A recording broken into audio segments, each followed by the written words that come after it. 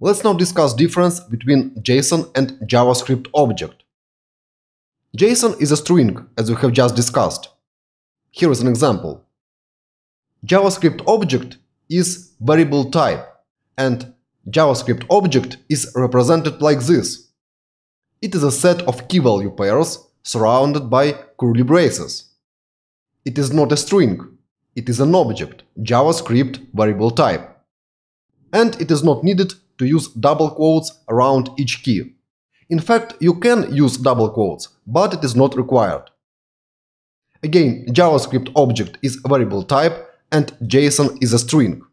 And in JSON, you must surround each key by double quotes. You can easily convert JSON to JavaScript object and back.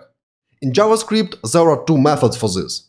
JSON.parse will convert JSON to JavaScript object and JSON.stringify will convert JavaScript object to JSON. That's it.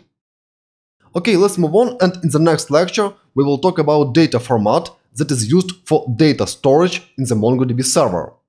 See you there. Bye.